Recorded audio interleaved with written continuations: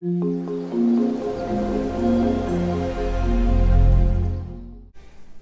च्यानलमा दिइएका गवाही परमेश्वरको महिमाको निम्ति र साँचो परमेश्वर खोज्नेहरूको लागि हो। सत्य जहिले पनि तितो हुन्छ तसर्थ तितो र खस्रो कुरा मन नपराउनेहरूले हाम्रो च्यानल नहेर्नुहोला। लाइफ न्युज च्यानलमा गवाईद्वारा सुसमाचार तथा क्रिस्टियानिटी सम्बन्धी कुनै पनि विषय जस्ताको तस्तै सम्प्रेषण भइरहेको यहाँहरूलाई थाहै छ। अझ प्रभावकारी रूपमा अघि बढ्नलाई तपाईँको प्रार्थनाको साथै आर्थिक सहयोगको पनि हामीलाई खाँचो पर्छ। मात्रै महिनाको एक सय रुपियाँ तपाईँले हाम्रो च्यानललाई डोनेट गरेर तपाईँ पनि सुसमाचारको काममा सहभागी हुन सक्नुहुन्छ। तसर्थ डिस्क्रिप्सनमा दिइएको एकाउन्ट नम्बर वा ई सेवा वा क्युआर कोडलाई पनि तपाईँले प्रयोग गर्न सक्नुहुन्छ। दाइ जमेसी जेमेसी भाइ। तपाईँलाई स्वागत छ लाइफ न्युज च्यानलमा। तपाईँको नाम बताइदिनुहोस् न। मेरो नाम चाहिँ जसबहादुर हो सर। जसबहादुर के? तामाङ। घर कहाँ नि तपाईँको? म दार्जिलिङ हो सर। ए अहिले पोखरामा कहाँ बस्दै म हुनुहुन्छ पोखरा यो धारा पनि चर्चकै नजिकतामा काम के गर्नुहुन्छ? म काम सर मजबुत सम्बन्धीको म एउटा ठेक्दार। ए काम गर्नु अनि प्रभुलाई पाउनुभयो कति वर्ष जति भयो? सर म प्रभुले पाएको मेरो विश्वभन्दा पछि लगभग मेरो अडचालिस भन्दा पछि सैँतिस वर्ष समथिङ भयो सर सैँतिस वर्षै भयो प्रभुलाई पाउनुभएको सैँतिस वर्षभित्रमा मैले परमेश्वर चिनेको बिस वर्ष असल तरिकाले चिनेको। ए। सैँतिस वर्ष सानैमा चर्च जानुभएको तर व्यक्तिगत रूपमा प्रभुलाई पाउनुभएको चाहिँ बिस वर्ष बिस। वर्ष भयो। के कुरा पाउनुभयो र के कुरा देख्नुभयो र प्रभुलाई विश्वास गर्न र समर्पित हुन मन लाग्यो त? के भयो भने सर मेरो जीवनमा परमेश्वर पाएला अर्कोले जस्तै पायो रे परमेश्वरको वचन यस्तो रे उस्तो रे थियो तर चाहिँ प्रभुको वचन चाहिँ एउटा खेलासी जस्तै एउटा साथीभाइको एउटा बोलाइ जस्तै सुनाए जस्तै त्यही पहिला जस्तै त्यस्तै थियो। जब मेरो जीवनमा सर म जब समस्यालाई पेल्यो अब समस्या आयो त्यस पछाडि यो समस्याहरू कसले गर्नु नसक्ने यो समस्याहरू कसले पनि त्यो समस्यामाथि जिउनु नसक्ने स्थिति परे पछाडि के के समस्या थियो त्यो समस्या भन्न मिल्छ? के थियो भने सर म पहिला सुरुमा छ्यारोग लागेको थियो। ए लाग्यो छ्यारोग लागेको थियो। योभन्दा म अट्ठाइस उन्तिस वर्षको समयको म हुँदा अलि अडचालिस अडचालिसमा उन् उन्तिस वर्ष घट्दा अहिले म चाहिँ लगभग अठार उन्नाइस वर्षको अठार उन्नाइस वर्ष अलिक बढी नै भयो है क्या। जे होस् जति भए पनि। यो विषयको लागि त्यस पछाडि मैले परमेश्वरलाई चाहिँ उपवास बस्नु सिकायो। उपवास बस्दो रहेछ कोही बे- व्यक्तिलाई कसले सिकायो तपाईँलाई? यो चाहिँ हाम्रो? पास्टर अगको अगुवा ए। सबै विश्वासीहरूलाई उम्, एकजना कुकुर मार्फत आएको एउटा ढाँचा भने हाम्रो गाउँकै गाविसको पहिला गाविस थियो। अहिले चाहिँ अहिले उहाँ चाहिँ कुकुरमा जानुभयो। अनि तिनलाई यतिखेर आत्मिक क्षेत्रको कुराहरू चाहिँ गाउँमा थोरै थियो। उम्, कसले सुन्यो मात्रै प्रार्थना गर्थ्यो त्यतिखेरको समयमा। अनि त्यस पछाडि मैले त्यतिखेर उपवास बस्यो सर। बस्यो पछाडि कति दिनको उपवास बस्नुभयो? मैले चौबिस घन्टा। ए चौबिस घन्टा। चौबिस घन्टा बस्यो। अनि चौबिस घन्टा पछाडि यस उपवासको चाहिँ डिसिप्लिनहरू के रहेछ भने दर्शन अनि त्यसपछि सपना अनि त्यसको चाहिँ हुँदो चाहिँ त्यसरी आए पछाडि मैले पनि एउटा गेज गर्यो। परमेश्वरको वचन सामुन्ने गए पछाडि उपवास बसे पछाडि यस्तो हुँदो रहेछ। यो कुरा थाहा हल्का जानकारी पाउँदो रहेछ नलेज हुँदो रहेछ भनेदेखि के दर्शन पाउनुभयो त्यति बेला? मैले दर्शन के भयो भनेदेखि राति दर्शनमा चाहिँ मेरो बिरामीको सिलसिला र सिलसिलामा चाहिँ के रहेछ भने म टिभी जुन छ्यारोको बारीमा चाहिँ म चाहिँ लास्टै थियो त्यतिखेरको समयमा। यतिखेर श्रीमाथि पनि एकजुरी दौरो बिरामी भएको थियो। अनि तिनको कुनैको तन्त्र मन्त्रहरूको दर्शनहरू देखायो। अनि कुनै चाहिँ आफूले बिरामी हुँदो रहेछ पछि समय त्यो चाहिँ परमेश्वरले देखायो कुनै कुरा चाहिँ अर्कोले ढुङ्गा हानेको अनि कुनै कुरा चाहिँ आफ्नो जस हातमा भएको हतियारहरू हराएको होइन? किनभने आफ्नो लगाएको कपडाहरू चाहिँ च्यातिएको उम्, मध्ये दर्शन देखायो। अनि त्यसपछि मैले सामान्य प्रभुसँग चाहिँ धैर्यता भएर खपेर फेरि प्रार्थना गरेर बस बस्यो। म चाहिँ परमेश्वरसँग मेरो ठुलो गुण छ।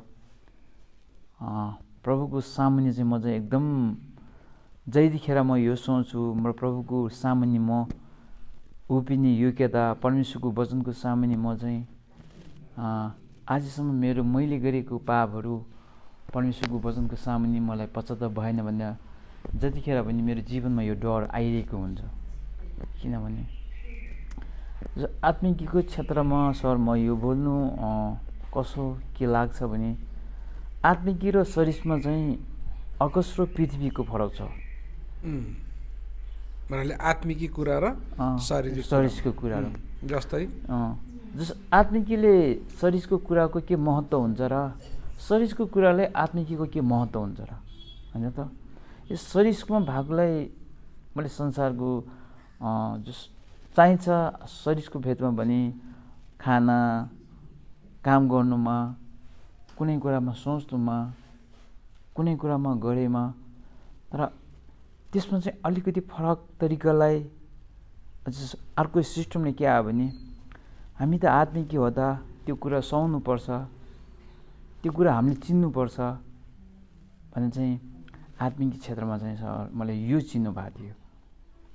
आज पनि यो विषयिक वस्तुको लागि अनि आत्मिक जीवन चाहिँ यो रहेछ भन्ने मैले चाहिँ जब चाहिँ परमेश्वरको वचनमा तर आत्मिकी क्षेत्रमा जिउने मानिसहरू चाहिँ धेरैले चाहिँ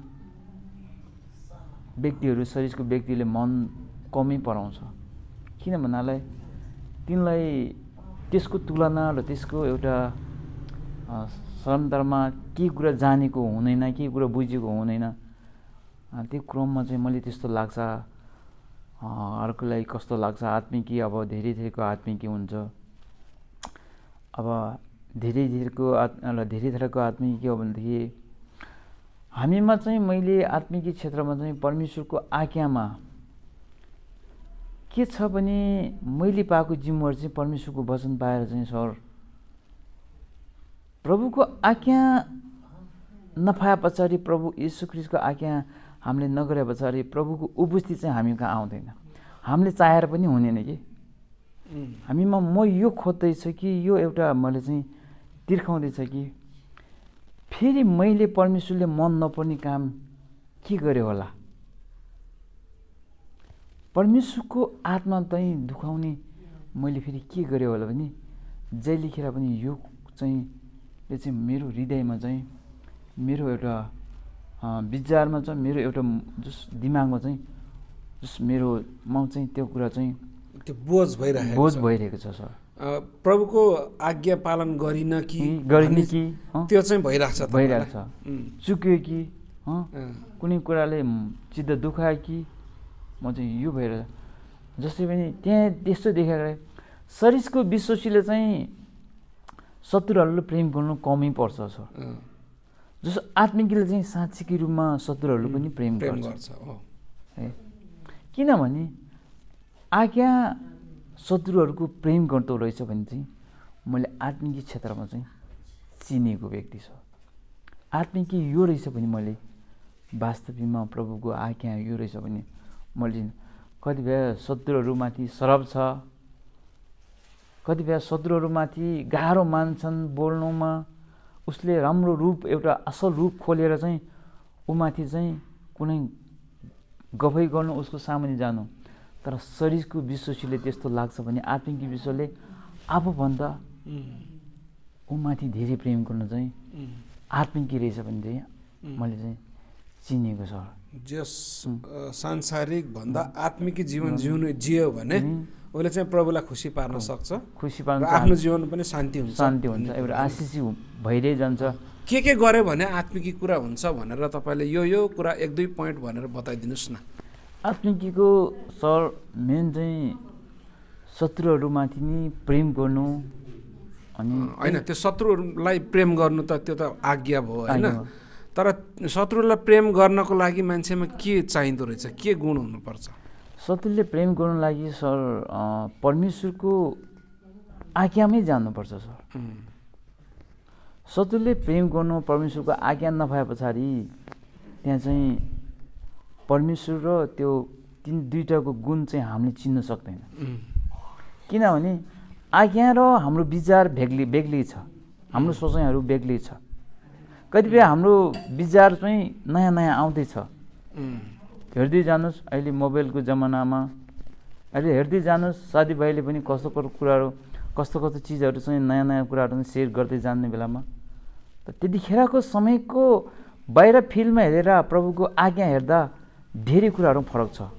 त्यस कारणलाई म आत्मिकीमा चाहिँ जीवन चाहिँ जिउनु सिकेको र आत्मिकी सत्यता रहेछ भने चाहिँ मैले चाहिँ आत्मिकी चाहिँ असाध्यै नै मलाई चाहिँ खुसी र आशिष भएको। तर आत्मिकीको जीवनको मेन मोह महत्त्वपूर्ण आशिष जब आत्मिकी नहुने जेलसम्म आशिष चाहिँ देख्नु सक्दैन छ उम्। आशिष चिन्दैन। सुसमाचार पनि आत्मिकी व्यक्तिले मात्र सुनाउन सक्छ किनले गए त जान्छ भने चाहिँ एउटा चाहिँ बाछा एउटा प्रभुसँग चाहिँ बोले पछाडि त्यो चाहिँ सितिमिति सातरान विश्वसीलाई सिम्पल विश्वसीलाई त्यो आत्मिकी चाहिँ चिन्न सक्दैन। आज उनलाई ममा मार्नु मान मानिसलाई त्यसलाई चाहिँ प्रेम गर्नु र तिनले चाहिँ गुण चिन्नु पऱ्यो कि। यो चाहिँ मैले चाहिँ आत्मिकी क्षेत्रमा चाहिँ पाएको जिम्मेवारी हो। र उम्, हजुरले अहिले सुसमाचार कतिको सुनाउनुहुन्छ? सुसमाचार सर मसँग आजभोलिको दिनमा कमै छ सर। अहिले हजारमा सयमा जो आत्मिक क्षेत्रमा भेट्ने एकजना पनि गाह्रै हुन्छ। बाइबल पढेर हुँदैन सर। बाइबल चाहिँ एउटा हृदयदेखि नै सरिस आँखाले पढ्नु भने त हृदयको भनेपछि आँखा हजुरले नि सुसमाचार सुनाउन अहिले त्यति मौका नमिलेको हो कि मन नलागेको हो कि? मन त लागिरहेको सर। मौकाको चाहिँ एउटा मौका नपाएर अनि तपाईँको आफन्तहरू त थुप्रै होला नि प्रभुमा विश्वास नगरेका होइन। उनीहरूलाई सुनाउनुहोस् न। सुनाउनु? आफन्तहरू त छ सर मेरो त सक्यो भने सक्दो धेरै जस्तो विश्वसनीय छ। ए। विश्वसनीय छ। तर मैले चाहिँ धेरै जसो चाहिँ आत्मिक क्षेत्रको गुण र क्रिस्चियनहरूको गुण चाहिँ मैले धेरै जसोमा चाहिँ व्यवहारमा मेरो काम गर्ने साथीभाइ मेरो अब कामतलेहरूमाथि होइन भागोलाई लुकाउने झुकाउने मेरो चाहिँ त्यो सर्त छैन। मलाई भएन भने आज भएन भन्छ कि मेरो सिधा सिधा व्यवहार गर्ने सोचोमा। अति नै सोच। हो मलाई क पढ्न नआउने सर। म बाइबल पढ्नु जस मैले यो आँखाले आउँदैन। तब हृदयको आँखालाई आज पढेको बाइबलको शीर्ष जुन खण्ड मेरो दिमागमा लिइरहेको हुन्छ। यो चाहिँ मैले चाहिन्छ है। यो चाहिँ मेरो लागि है। यो चाहिँ कसैको लागि होइन मेरो लागि हो भने चाहिँ मैले वास्तविकमा त्यो चाहिँ हृदयदेखि नै उसले चाहिँ जस लेखेर राख्नु चाहिँ प्रयास गर्छ सर। होइन? कसैले मान्छेको रूप हेरेर वचन बोल्छ भने वचन सुन्छ भने त्यो वचनको कसैसँग के अप्ठ्यारो पर्छ भने म चाहिँ एउटा आत्मिकी भयो भने सर मेरो भनेको भर पर्ने व्यक्ति प्रभु भए अर्को कोही पनि छैन। मेरो भर पर्दो चिज भर पर्दो एउटा असल चाहिँ जस मैले पाएको जिम्मेवारी चाहिँ यो आत्मिकी नै हो। यहाँ तपाईँको परिवारमा अरू को को हुनुहुन्छ? परिवारमा छ सर। अब बुवा हुनुहुन्न मम्मी हुनुहुन्छ। अब श्रीमती छ मेरो दुईवटा बाबु दुईवटा नानी। सबैको परिवार उहाँहरूको आत्मिक अवस्था कस्तो छ? उहाँहरूको आत्मिक अवस्थामा डराउनु पर्ने छ सर। डराउनु हजुरले डराउनुहुन्छ अब कुनै कुरामा चाहिँ सयमा पाँच पर्सेन्ट होइन आत्मिकी कुरा नै त्यस्तो हो कि तपाईँ चाहेर हुँदैन होइन? तपाईँले चाहेर अरू आत्मिकीमा डोरिने कुरो हुँदैन। यो चाहिँ कोही छिटो आत्मिकी रूपमा बढ्छन् भने कोही ढिलो बढ्छन् होइन? त्यही कारणले यसमा हजुरले चिन्ता गर्नु पर्दैन।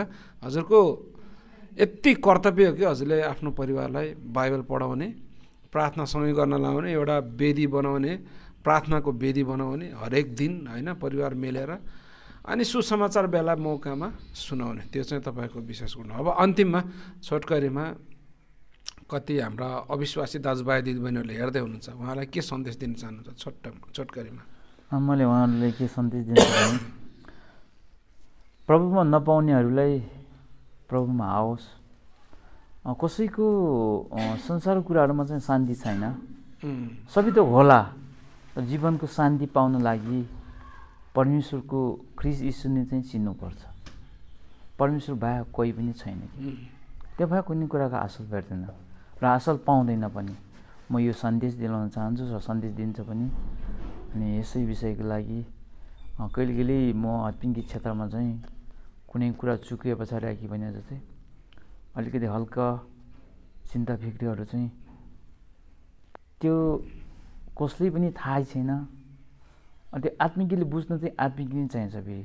त्यसको चाहिँ उत्साह दिनु। शरीरले चाहिँ अलिकति गाह्रै हुन्छ शरीरको विश्वले नराम्रो भन्नु खोज्यो भने ऊ पनि राम्रै हो।